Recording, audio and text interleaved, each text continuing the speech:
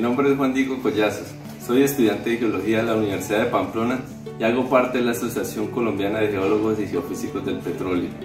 Nuestra campaña de Ciudad Geológica sigue llevando conocimientos sobre las ciencias de la Tierra hasta la puerta de tu casa.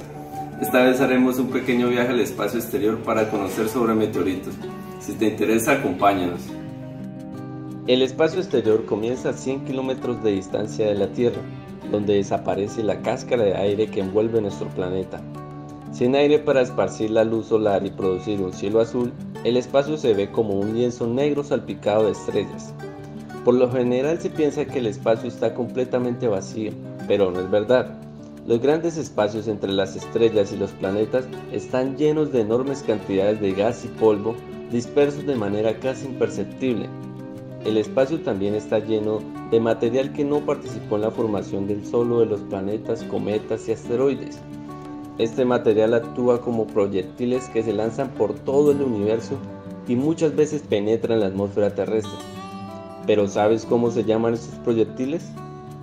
En el lenguaje popular solemos denominarlos como meteoritos, pero si queremos ser precisos, en realidad debemos utilizar distintos términos para nombrar a este objeto dependiendo de la posición en la que se encuentra y de su tamaño.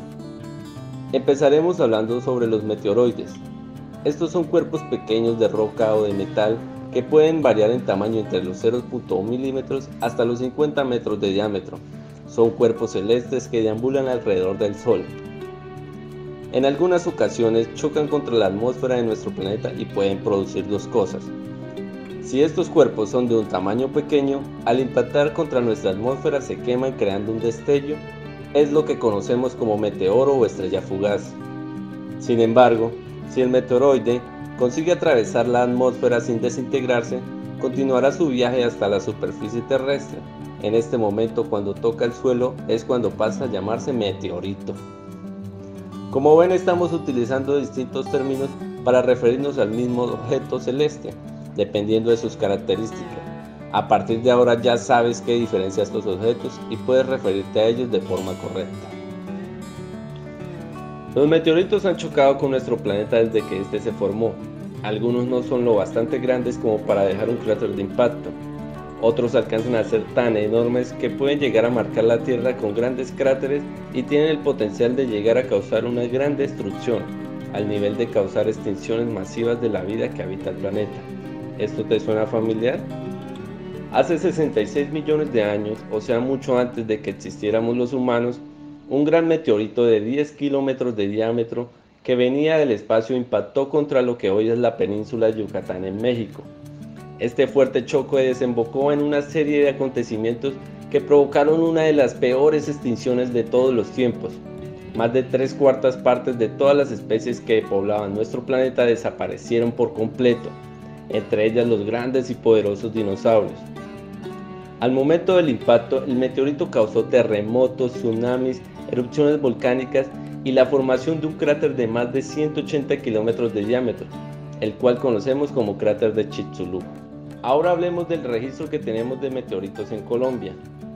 El 20 de abril de 1810, en el municipio de Santa Rosa de Viterbo, en Boyacá, fue encontrado un meteorito que pesaba 612 kilogramos, es decir, más de lo que pesan 12 bultos de cemento. Este meteorito estaba compuesto principalmente por níquel, un elemento muy pesado de la tabla periódica. Y como dato curioso, en esta época se utilizó parte de este meteorito para fundir una hoja de espada la cual se le ofreció al libertador Simón Bolívar con la dedicatoria que decía, esta espada ha sido hecha con hierro caído del cielo para defensa de la libertad. Además, años después, en este mismo municipio se lograron identificar tres meteoritos. También el 6 de julio de 2007, en la zona urbana de Cali, se observó un meteoroide que se fue fragmentando. De él se recuperaron 10 meteoritos. Para terminar hablaremos de la estructura circular que se encuentra en el departamento del Bichada. Se presume que puede ser un marca de un meteorito que impactó hace millones de años este lugar, y aunque no está dentro de los registros de impacto confirmados, posee varias características propias de esto. Por ejemplo, una forma de anillos interiores y exteriores.